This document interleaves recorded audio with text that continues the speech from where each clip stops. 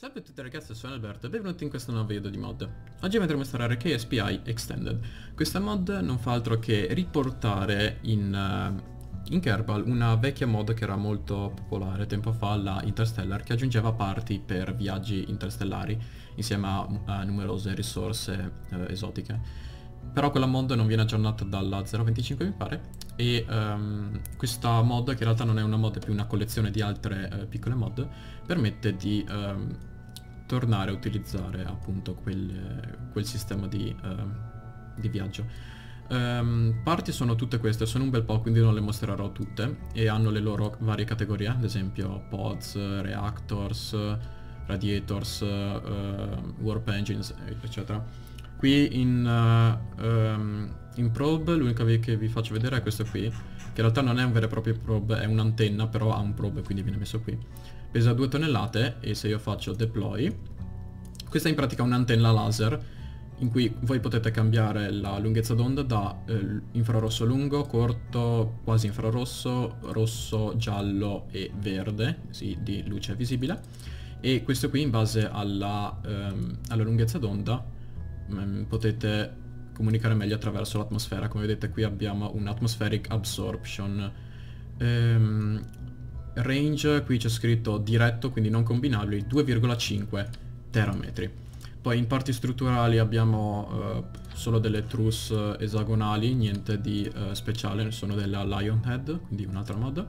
Fuel tanks, abbiamo parecchi fuel tank che uh, come vedete hanno sì forme abbastanza diverse, però hanno tutti in comune la possibilità di scegliere le varie risorse, ce ne sono molte, abbiamo ad esempio uranio, plutonio, torio, eh, uranite, oppure per i serbatoi normali abbiamo idrogeno, deuterio, trizio, metano, ammonia, idrazina, eh, azoto, hydrolox, liquid fuel oxidizer, ossigeno, no oxidizer, liquid fuel, eh, metano e ossigeno, metano e basta, azoto, ossigeno, acqua, ammonia, ehm, CO2, elio, HTP, idrazina, idrogeno, eccetera, eccetera. Um, ci sono pure dei serbatoi, un attimo, serbatoi radiali, questi qui, eh, che intanto tutte le parti hanno anche la Twix scale integrata. Um, le, questi qui sono dei serbatoi radiali che possono essere sparati via una volta esauriti. E poi c'è anche un serbatoio di aria compressa se eh, vi dovesse servire. Comunque andiamo nei motori che sono le parti più interessanti. Ora questi motori usano eh, tanti carburante, nel senso che eh, non hanno un carburante unico. A seconda del carburante che scegliete, ad esempio prendiamo questo, eh, no, tipo, prendiamo questo, prendo il motore sbagliato, mm, un motore che può andare... Questo qui... no... Eccolo qui. Uh, questo motore qui che va ad... Um, ha varie risorse e ha, qui avete tutte le varie specifiche dove vi dà i kilonewton per megawatt con efficienza quindi ad esempio con idrogeno il 68%, con l'elio il 38%, eh, col neon l'84%, eh, sì, l'84%, 52%, eccetera, eccetera. Eh, poi abbiamo anche un motore, questo qui, laser, che appunto utilizza un laser e può utilizzare varie ehm, varie risorse insieme al polyvinyl chloride da ehm, 100 unità. Tutti i motori hanno una cosa chiamata waste heat che va dissipato attraverso i radiatori che vi farò vedere dopo. Poi c'è ad esempio Daedalus, questo qui è a dire vero un progetto vero nella realtà per una nave interplanetaria che vabbè lasciamo stare, un po' troppo ambizioso. 72 tonnellate, antenna integrata da 40 terametri e 300 kN di spinta, in pratica spara dei pellet, qua ne ha 2000 i pellet qua al centro e poi il campo magnetico generato da questo qui aiuta a propellere il tutto in avanti. E, ehm, sì, appunto, quindi Project Daedalus, poi questo qui, il Dei... Dei Nonikius, non so come si pronuncia, questo qui è un motore tradizionale o a metano a idrogeno da 1000-1400 kN eh, poi abbiamo EM Drive, questo qui produce spinta solo dalla corrente 0,002 kN per megawatt, efficienza dell'8,8%, quindi non è per niente efficiente. Uh, eh, H1 alluminio, questo qui ha un booster, il modello 3D è uguale a quelli stock, però in realtà è un booster ad alluminio da 1000 kN. Poi cosa abbiamo? Fusion Engine, questo qui 50 tonnellate con eh, lithium hydride da 1000 unità e spinta di 3700 kN. Eh, magnetic nozzle, questo qui 100 kN massimo con eh, propellente idrogeno. Eh, magneto inertial fusion engine 50 kN e propellenti litio eh, magnetoplasma dynamic thruster questo qui è eh, a vari propellenti questo qui anche lui vari propellenti eh, anche lui vari propellenti quindi insomma ehm, questo qui è un Vasemir radiale. Eh, quelli a vari propellenti non c'è molto da dire in quanto dovete calcolarvi voi la eh, anche, anche ad esempio questo. Dovete calcolarvi voi la spinta che verrà effettivamente generata dal, dal motore in base al carburante e al, alla, alla, conversione, all'efficienza di conversione. C'è pure questo qui che è mm, abbastanza carino, un nuclear ramjet da massimo 300 kN. Eh, abbiamo pure l'efficienza di Carnot, 32%. E reactor, sì abbiamo tutte le varie specifiche. Comunque, eh, come avete come avrete capito i motori sono, sono abbastanza flessibili in termini di um, carburante che, va, che, si può utilizzare mentre questo Propcore giusto per uh, controlli abbiamo degli RCS a idrazina da 2 kN di varie forme. Service tank questo qui immagino sia per ah, CST100 RCS in linea da uh, queste qui sono richiede ok 10 Megajoule 0,5 kW Arcjet, questi qui sono di un'altra mod quindi non la, um, non la guarderemo in questo momento. Reattori, ci sono parecchi reattori antimatter eh, Questi qui no, un'altra mod Quantum Singularity Reactor Per produrre, vediamo cosa produce eh, Vediamo eh, Idrogeno può, può produrre varie beh, può produrre praticamente quasi tutte le risorse Megajoule, Thermal Power, Waste Heat, Helio, Charge Particles, eccetera. Ce ne sono eh, diversi, con anche modelli 3D in, uh, interessanti. Questo qui è un Target Fusion Reactor. Uh, spherical... questo qui... Oh, quanto che non... Spherical uh, Tokamak, so, questo qui ha Salt Reactor, ha sale liquido, Open Cycle, Pebble, Plasma Beam, Stellator. Uh, bello questo qui. Stellator, Alpha Cooling. Comunque sì, sono tutti reattori che mh, mm, fanno comunque cose simili tra loro, convertono risorse. E ab abbiamo pure dei motori qui, non si sa perché. Immagino perché abbiano un reattore integrato. Eh, comunque sì, sono, molti, sono tutti reattori che fanno cose simili solo con risorse e efficienze diverse. Um, electric generators, abbiamo quelli che producono corrente, quindi abbiamo alcuni motori nucleari e poi dei uh, generatori elettrici che, um, che in, trasforma charge particles in corrente elettrica. Abbiamo ad esempio anche questo qui, che qui immagino ci vadano messi dei, um, dei pod, poi c'è questo qui... Uh, un, atti un attimo, questo qui va... Oh, oh, oh, oh, oh, ok, ok. Questo è... 36 tonnellate, è un pannello solare gigante. No, io adesso lo voglio lanciare.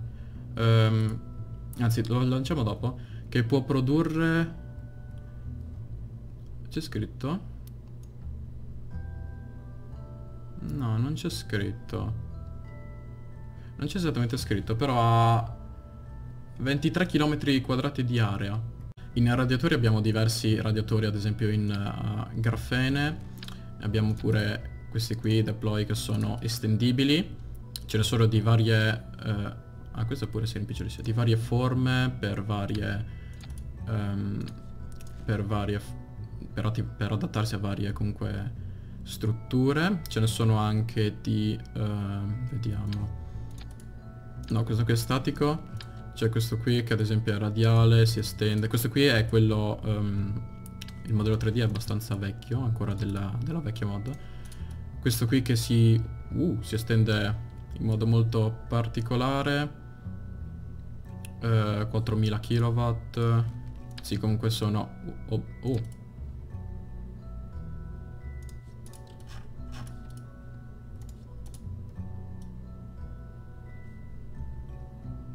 Interessante metodo di deployment. Comunque se avete capito sono tanti radiatori. Microwave, qui abbiamo tante parti, sono principalmente antenne di vario tipo. Uh, vediamo qualcuna interessante, c'è questa qui, che è un'antenna da 50 megametri e si estende con tanti, tanti piccoli esagoni che poi si attaccano in questo modo. Tac, tac, tac, bene. Uh, poi cos'altro abbiamo? Questa qui... Um... No, ah, non si può, quindi è chiusa, bene. Uh, vediamo... Dishes, questa qui è un'antenna abbastanza tradizionale. Poi abbiamo le antenne quelle grandi, extend, che si aprono in questo modo. Uh, microwave, questa qui è da 50 megametri anche lei. Extend. La mia preferita forse è questa qui, la Multi Bandwidth Dish, Transceiver, che è in pratica questa sfera eh, è da 5 terametri. Voi in pratica fate open door, si apre qua sopra, poi voi fate test pivot, si inclina di lato. E poi test rotation. E si mette a girare su se stesso. Quindi è in pratica un'antenna normale eh, però coperta. Ce ne sono altre. Come vedete deploy che ad esempio sono dentro dei fairing. Beh i fairing sì beh questa è un po' esagerata. I fairing dovrebbero comunque togliersi sono antenne molto grandi da questo 100 terametri quindi vi permetteranno di comunicare a letteralmente tra eh, di stella in stella. E poi eh, basta qui. ISRU ne abbiamo qualcuno. Rifinerie, rifinerie per convertire le varie risorse. No cosa ho sbagliato? Tipo questa oppure questa. Ci sono pure altre parti come gli scoop per raccogliere risorse, i drill, anche questo qui verde per la, ehm, per la regolite. Ci sono cryogenic tank, supercapacitor, processing, electrolyzer, converter, wind collect, questo qui ehm, colleziona vento solare, anche se il modello 3D infatti è uguale, al, è uguale all'antenna, però comunque lo scopo è quello.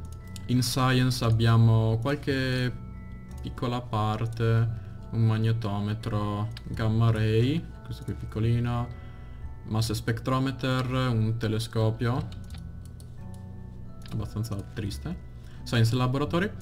In Warp Engines abbiamo AlcuBR, questo qui che si, ehm, si piega su se stesso e poi si apre.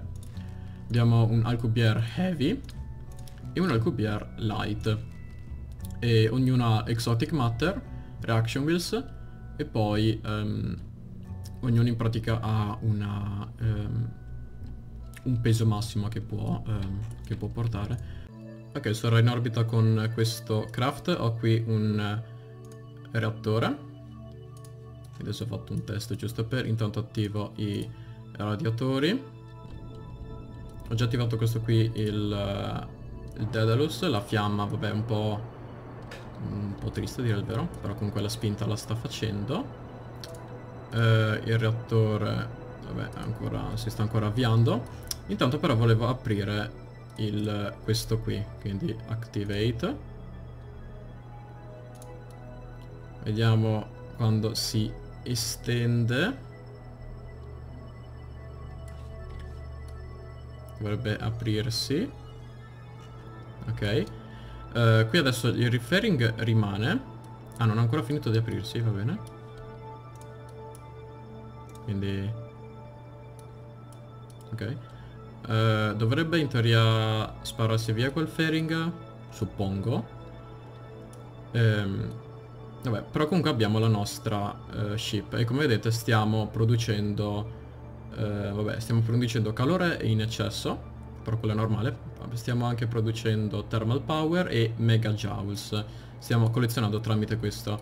Anche se eh, suppongo che, che questa qui sia una specie di torre, infatti, e in pratica questi qui specchi riflettono verso lì. in una specie di, um,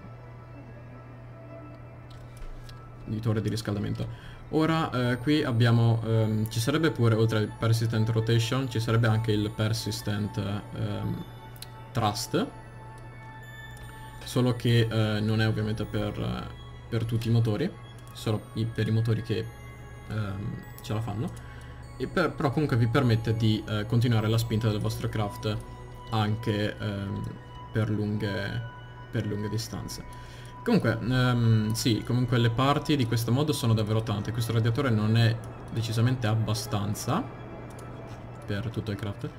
Uh, ci sono davvero tante parti e um, che sono abbastanza difficili da usare, non sono così semplici e um, soprattutto costano molto, non, non, è decisamente una modo da utilizzare in, in carriera. Quindi, un saluto da Team di Club Italia da Alberto.